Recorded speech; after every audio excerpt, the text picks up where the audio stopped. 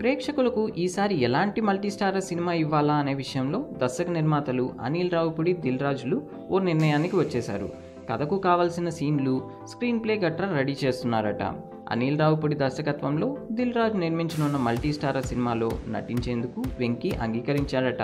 Already వెంకీతో అనిల్ ఒకసారి work చేశారు. అయితే దర్శకుడిగా కాదు మాటల రచయితగా. వెంకీ రామ్ హీరోలుగా నటించిన మల్టీస్టారర్ మసాలాకు అనిల్ రావుపుడి మాటలు రాశారు. సో అతని గురించి అతని వర్కింగ్ స్టైల్ గురించి వెంకీకి ఐడియా ఉంది. అందువల్ల లేటెస్ట్ మల్టీస్టారర్కి వెంటనే ఓకే చెప్పేశారట.